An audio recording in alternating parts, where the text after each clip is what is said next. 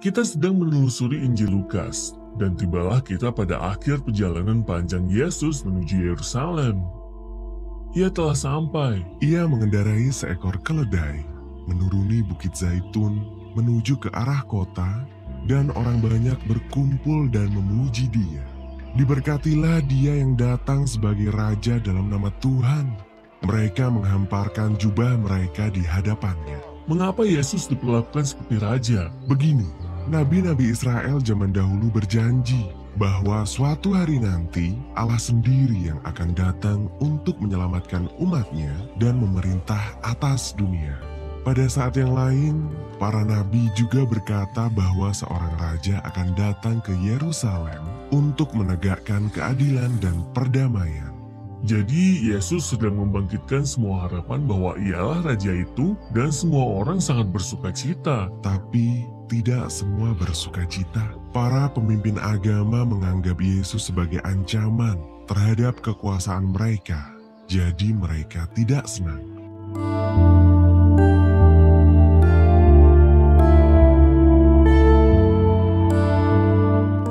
Namun, yang lebih mengejutkan, Yesus sendiri merasa gelisah. Yesus sebenarnya menangis saat ia berada di atas keledai. Mengapa ya? Karena Yesus dapat melihat apa yang akan terjadi. Ia tahu bahwa ia tidak akan diterima sebagai Raja Israel. Ia juga tahu bahwa bangsa Israel akan terus berjalan menuju kehancuran.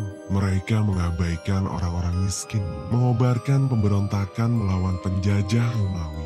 Semua itu akan berakhir dengan kematian. Itulah yang menghancurkan hatinya. Dan membuatnya marah. Hal pertama yang Yesus lakukan di Yerusalem, ia bergegas menuju halaman bait Allah dan mengusir para penukar uang, menghentikan seluruh praktek persembahan korban. Ya, Yesus sedang melancarkan protes dengan perkataan para nabi. Ia berdiri di tengah halaman dan meneriakan kata-kata dari para nabi Israel zaman dulu. Rumahku adalah rumah doa, tetapi kamu menjadikannya sarang penyamun. Sarang penyamun, Ya, Yesus mengutip perkataan Nabi Yeremia yang pernah berdiri di tempat yang sama, pusat kekuasaan agama dan politik Israel. Dan Yesus melancarkan kritik yang sama kepada para pemimpin Israel. Mereka adalah pemberontak dan pemimpin yang korup. mereka menangkap pesan Yesus itu dan mulai berencana untuk membunuh dia. Yesus tidak heran. Malahan, ia membuat agar semua ini terjadi selama perayaan Paskah.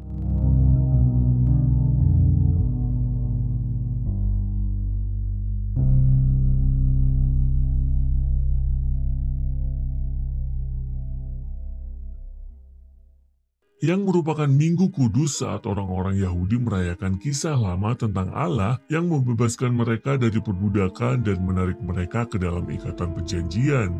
Jadi, Yesus menggunakan lambang-lambang Paskah untuk mengungkapkan makna kematiannya yang akan datang. Roti yang dipecah-pecahkan melambangkan tubuhnya yang dikorbankan, dan anggur melambangkan darahnya yang akan mengikat perjanjian yang baru antara Allah dan Israel.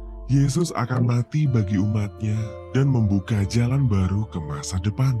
Setelah selesai perjamuan, Yesus membawa murid-muridnya ke taman untuk berdoa. dan ia bergumul antara keinginannya sebagai manusia untuk menyelamatkan nyawanya atau harus mengorbankan nyawanya. Tetapi ia sanggup mengatasi percobaan ini. Dan di sinilah para pemimpin agama beserta para pengawal bait Allah menjumpai dan menangkap Yesus. Pada saat itu, Yerusalem dikuasai oleh kekaisaran Romawi. Jadi para pemimpin agama tidak dapat menghukum mati Yesus tanpa seizin dari gubernur Romawi yang bernama Pontius Pilatus. Itu sebabnya mereka mengarang tuduhan bahwa Yesus adalah raja pemberontak yang mengobarkan revolusi melawan kaisar Romawi.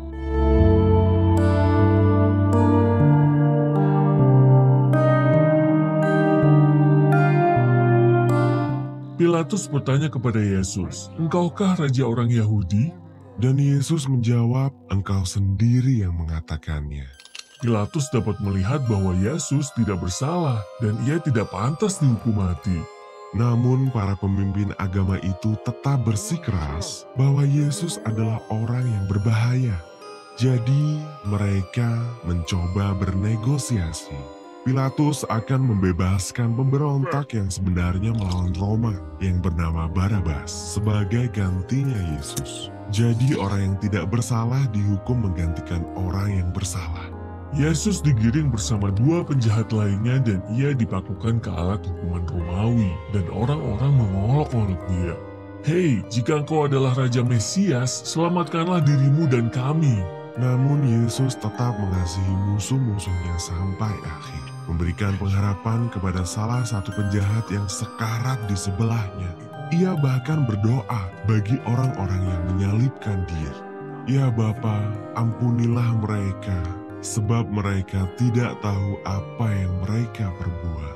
Kemudian langit menjadi gelap ketika orang yang tidak berdosa mati sebagai pemberontak. Lalu Yesus berseru dengan kata-kata dari Mazmur Israel. Ya Bapa, ke dalam tanganmu kuserahkan nyawaku. Kemudian Yesus pun mati tanpa dosa dan seorang diri. thank you